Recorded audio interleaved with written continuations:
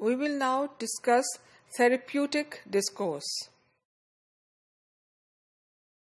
Therapeutic discourse is the talk in interaction between clinician and client that aims to improve the mental health of a client.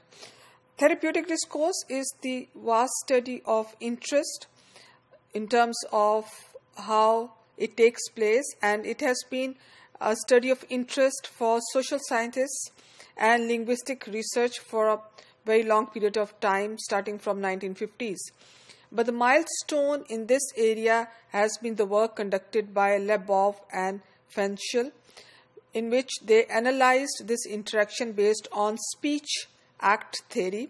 They analyzed 50, a single 15 minute long segment of psychotherapy interaction where they just highlighted the basic uh, four types of basic actions. They are meta linguistic actions, starting or taking initiative, continuing, and then ending. That is what they called metalinguistic actions. Then they have the representations. Request is the number third action, and uh, challenge. They analyzed these actions and also other actions which have been addressed in terms of emotions and repression. So, primarily, the focus of therapeutic discourse is to look at the interaction and have that interaction in psychotherapy, which aims to improve the mental health of a client. This discourse, which is therapeutic discourse, that takes place in a wide range of institutional setting or institutional situation, varying from primary medic- medical care to rehab and other social works. So, now we will look at some of the details of therapeutic discourse. There are three main tasks of therapy as we can see. The first one is the therapist listens carefully as the client reports experiences issues and concerns. Now, just as the therapist is the authority on the process of interpreting emotional experiences, in this particular interaction or discourse, we see that it is the client who is the authority on the experiences themselves.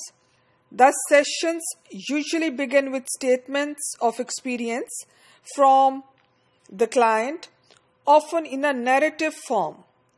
The therapist does not challenge the client's reporting of experiences, for these statements provide the raw data for the therapeutic session. In contrast, it is acceptable that sometimes useful for the therapist to challenge the client's interpretation of another person's experiences because the therapist is the expert on the interpretation of emotions. Then we have the second task, which is the therapist interprets the client's experiences and symptoms. Now, under this, we have the study by Grossen and Apothéloz. Now, they discuss how therapists transform clients' discourse into a problem by means of a process of reformulation.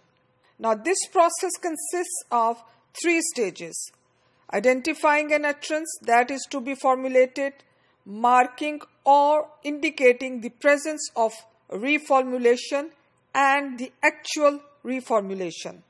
In addition, to bring some clarity to the therapeutic process, reformulation also provides a different perspective on the client's issue. That is, therapists use a number of linguistic techniques to encourage clients to look at their problems in a new light. The metaphor is one of the techniques. Metaphor seems to open lines of communication that conventional language does not.